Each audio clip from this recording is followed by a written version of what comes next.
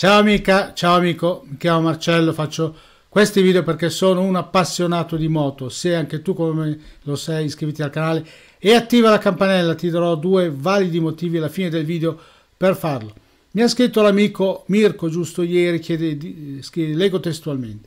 Buonasera Marcello, quando hai tempo potresti parlare di una moto di Vogue da poco uscita, la 350 AC con 40 cavalli, motore bicilindrico, penso un peso di 158-160 kg, un motore bicilindrico che arriva a 160-170 di velocità massima con consumo e SAI ridotti e un prezzo chiave in mano di 5.100 euro, un ottimo rapporto qualità-prezzo.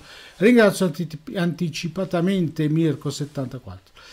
E quindi oggi parliamo di, quindi di Voge, trofeo 350 AC del 2023. L'azienda Loncin nasce nel 1983 a Kong King, una delle più grandi metropoli della Cina centro-meridionale. Il marchio Voge nasce poi come brand di Loncin nel 2018 per sviluppare motociclette che si distinguono per le prestazioni elevate e per la tecnologia. La Voge Trofeo 350C riesce quindi a coniugare le linee del passato con gli elementi moderni che la caratterizzano. Quindi vediamo la moto in questa bella immagine che la ritrae, bellissimo questo serbatoio giallo che spicca sul nero del motore partiamo dal motore appunto che è un bicilindrico la cilindrata di 321,8 cm3 con la distribuzione a doppio albero cam in testa e 4 valvole per cilindro. Il raffreddamento è liquido, la potenza massima di 40,8 cavalli, 10.500 giri al minuto. La coppia massima di 31 Nm a 9.000 giri al minuto.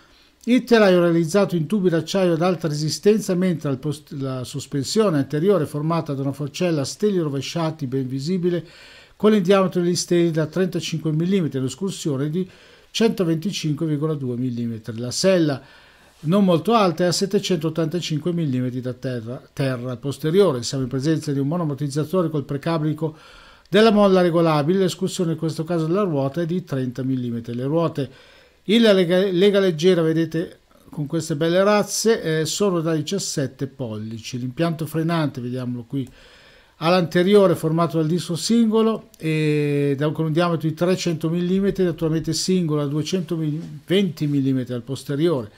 Il serbatoio capacità di 12,5 litri e il consumo ecco, dichiarato dalla casa è di 28 km con un litro di benzina la velocità massima di 158 km orari e il prezzo di 4.590 euro. Se ti è piaciuto metti un like, se non ti è piaciuto dislike, iscriviti al canale e attiva la campanella. Primo, è gratis, non si paga nulla.